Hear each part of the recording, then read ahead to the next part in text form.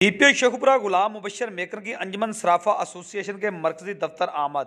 D P O Sheikhupura ने अंजमन सराफा association के सदर राना आदिल, जनरल सेक्रेटरी राना मुश्ताक अहमद ने डी पी ओ शेखुपुरा को बाज़ार का विज़िट करवाया। D S P city Shahid और एसएचओ थाना बी डिवीज़न शहबाज नजमी भी डी पी ओ शेखुपुरा के हमरा थे। डीपीओ गुलाम मुबशर मेकर ने सराफा एसोसिएशन के मरकजी दफ्तर में सराफा एसोसिएशन के अहदेदारानों से तारफी मुलाकात की। सराफा बरदरी के मसाइल सुने और उनको दरपेश मसाइल को हल करने की यकीन दहानी करवाई।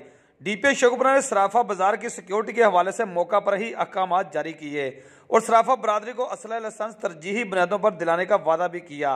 जबकि डीपीओ शेखपुरा ने हमायूं बाज़ार में मुनासब लाइट्स और ऑनलाइन सिक्योरिटी कैमरों के ज़रिए बाज़ार की की जाने वाली निगरानी के अमल को भी सराहा।